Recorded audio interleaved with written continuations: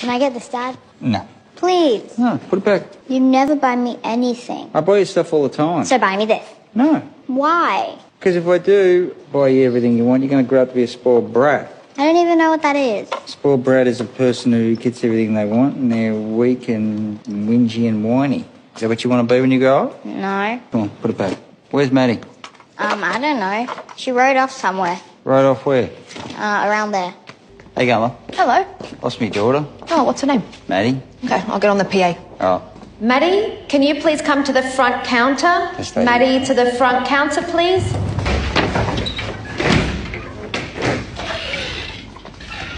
have you got CCTV cameras, have you? Yeah. He never got the feature, and then Wayne? and they kicked him out.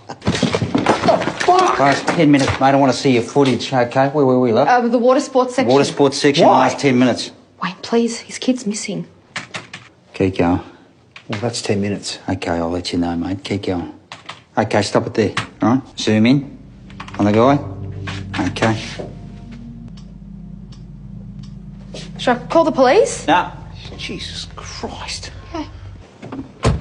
Put your belt on, Britt. Seatbelt, please. I want Mom. Look, I've got to find Maddie, all right? Please, put your belt on, okay?